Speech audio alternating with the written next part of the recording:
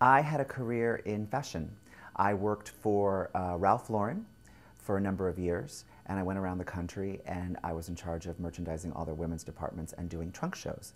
And then I was a vice president at Tommy Hilfiger for years.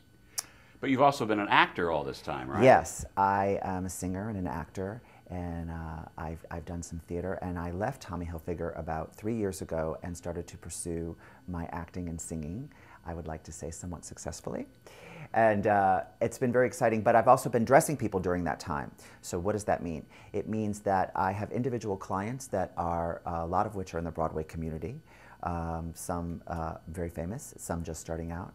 I dress uh, Victoria Clark, who did Light in the Piazza and is now doing Sister Act on Broadway, and Elizabeth Stanley, who is um, who did Million Dollar Quartet and did Cry Baby, and Kate Baldwin, as we know from Finian's Rainbow, and there's others. But I just, I really, I love working with these girls, and and I also work with men, and I, I see everyone at different levels of the business, and just how important it is to look your best when you go into these audition rooms, whether it's an EPA or a callback or a film or, or television, it doesn't matter. It's all about what you look like because you walk in the room and casting directors and directors make a judgment.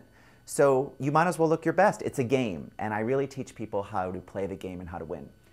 Do you teach people that when they go for an audition, they should dress for that particular part, or they, should they dress just in a way that's going to make them look the best? Yeah, it's not about the part, it's about you looking your best and you looking appropriate for you. In other words, we go to these auditions sometimes and we see these young girls who are just starting out in the business in cocktail dresses and character shoes, okay, when they're like 17 years old.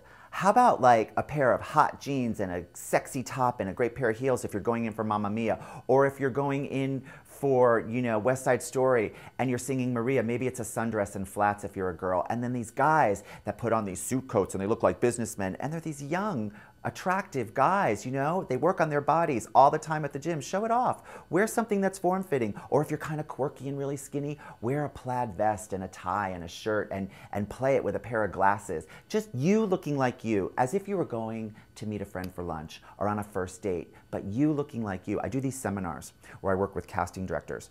And, um, you know, I talk to a, a, a lot of aspiring actors and actresses, and they'll dress for an audition.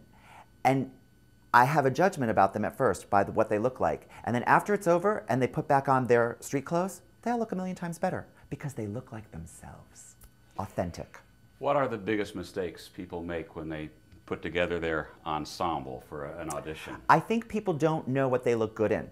They don't know what colors they look good in. They don't know how to utilize their assets. If they're a man and they're in shape and they're fit, they don't wear clothes that show that. If a girl's got great legs, she might be wearing the baggy clothes and a long skirt. If they don't have a great body, they don't know how to deal with that. There are certain rules that, that apply. Of course, with be, that being said, sometimes rules are meant to be broken, but it's like the way you're costumed for a show. They put you in the right color, the right silhouette, so you can see the body, so you can look amazing. It's never about, it's never about, oh, I love that sweater. It's, you look great. That's what needs to go into the audition room, and I think people forget that. And a way for them to do it, if they go through their closet, I go through cl closets with clients, and they pull out what they get compliments on, that's the color that they look good in. That might be the silhouette they look good in. So they have the tools to work with, it's just teaching them how to use it.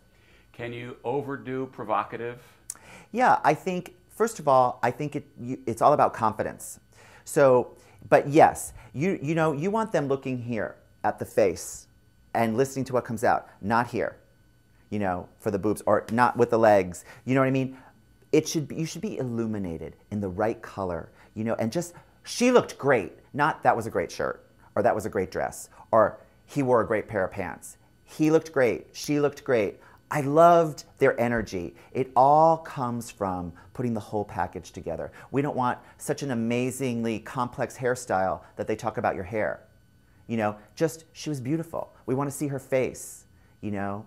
And if a guy wants to be sexy and rugged, don't shave for a couple days, you know? But if you're going in for, you know, a businessman, you probably don't want that unshaven, kind of sexy. That's when it, it should match. So you speak to the role but you don't costume yourself. And for those of us who don't really have a clue as to how to put our look together, is there hope? I mean, can you learn this sort of thing? Absolutely. It's so fun. I also dress a lot of people that, you know, are not in show business, from CEOs of companies to housewives to businessmen to Wall Street guys, young, old. It's what color do you look good in? You know, what what what do you want people to know when they see you?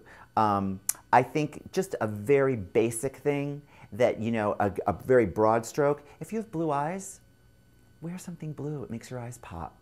If you have blonde hair, you know, wear pastels or yellows that complement your blonde hair. If you're dark complected like me, wear a bright jewel tone, kind of like I'm wearing now, you know, a purple that's going to make you pop. You know, there's there's certain rules. Like I said, rules were meant to be broken, but there are some good guidelines. Sure. George Brescia, we could talk for hours. Thank you so much for coming in. Thank you.